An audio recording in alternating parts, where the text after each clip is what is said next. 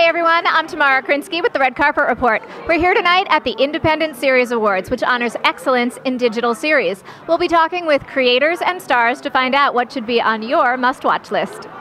So please introduce yourself and tell me your role here tonight, sir. Uh, I am Brian Beacock. I'm actually the announcer, backstage announcer for the show, so that's my utilitarian job.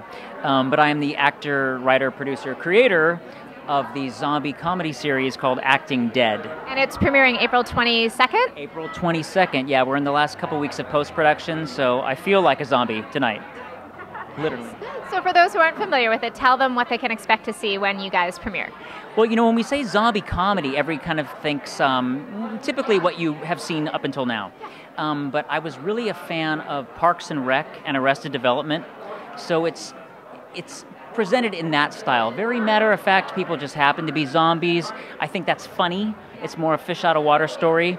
Um, you know, occasionally there are brains that are eaten, of course. Um, the cast is crazy. It's a cast and crew of about 92 people.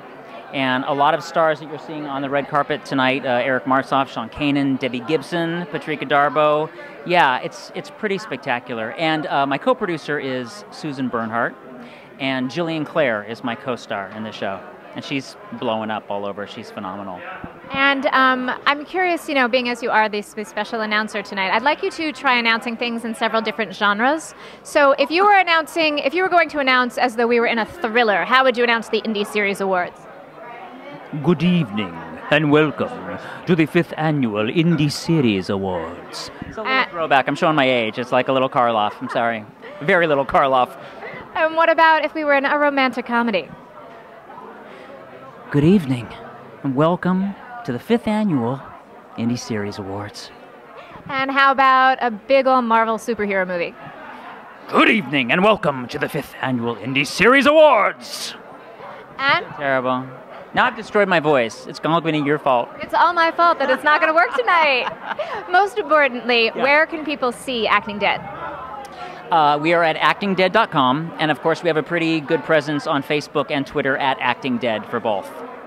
Well, best of luck with the premiere and have a great time tonight. Thank you so much. I appreciate it. Bye. Thanks so much for joining us tonight at the Independent Series Award. If you liked what you saw, click like, and if you want to see more, hit subscribe. And tell me in the comments what your favorite web series is. Mine would be Emma Approved. Check the credits and you'll know why.